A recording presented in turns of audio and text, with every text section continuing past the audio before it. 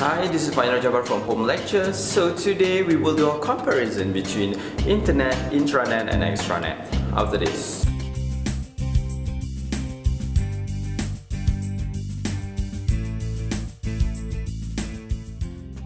Yeah, before we discuss about internet, intranet and extranet, I think it will be better if we can discuss uh, the definitions of network itself. So network is referred to the collections of computer or electronic devices that connected one to another. For example, let's say we do have few computers in our organization, computer A, B, And then we do have other devices such as uh, printer machines, we do have fax, we have scanner machines, and etc. So now back to our topic for today, internet, intranet, and extranet. I will make it very simple here. Number one, internet. Internet is referred to the worldwide connection Remember the keyword is a worldwide connection means large, huge connection. For example, let's say we are from Malaysia, we want to send information to Uganda, Colombia, for example. So we are using internet from one building to another building, which is distant. Meanwhile, intranet is referred to the private network. Remember,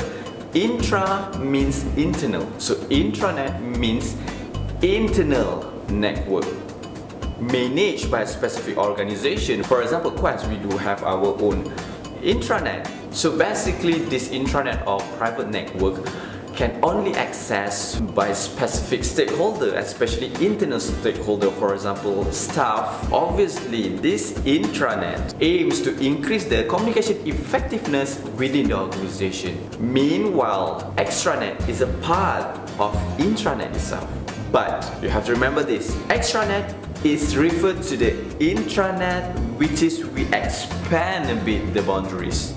Expand bit the boundaries. For example this is the size this is the boundaries for our intranet so we make it bigger by inviting other stakeholder, for example our supplier. The best example of extranet is supply chain management where we need the supplier. We will invite supplier to be part of our network. Yeah, it's still private. It can't be accessed by everyone, public for example. It can only access by a specific group of people.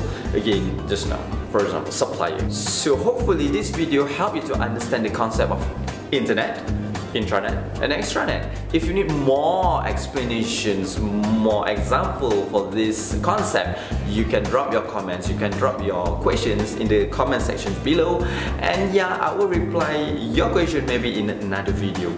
Thank you for watching and remember guys, subscribe, subscribe, subscribe and see you guys again in the home lecture.